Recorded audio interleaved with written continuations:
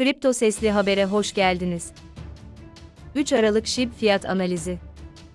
Shiba ile ilgili haberin ayrıntılarına geçerken, gelecekteki Shiba haberlerini kaçırmamak için lütfen şimdi abone olun. Shiba, BOM ve Leash haberleri için bize katılın.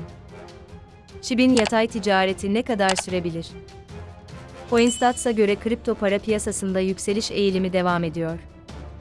SHIB, USD SHIB'in fiyatı geçtiğimiz gün %0,74 arttı. Saatlik grafikte SHIB oranı 0,0000844 dolarlık destek seviyesinin üzerine çıktı. Günlük çubuk bundan uzakta kapanırsa boğalar inisiyatifi tekrar ele geçirebilir ve bu da yakında 0,0000855 dolara yol açabilir.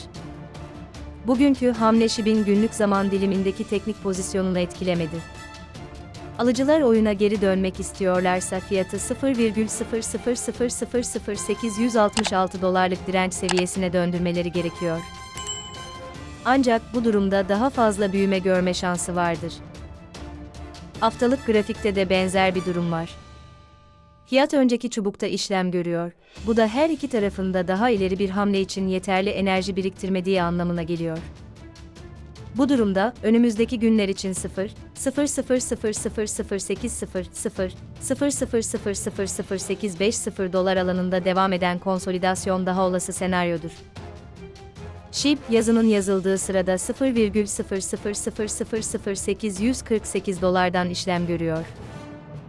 İzlediğiniz için teşekkürler. Bir sonraki Shiba haberinde görüşmek üzere. Lütfen abone olmayı unutmayın.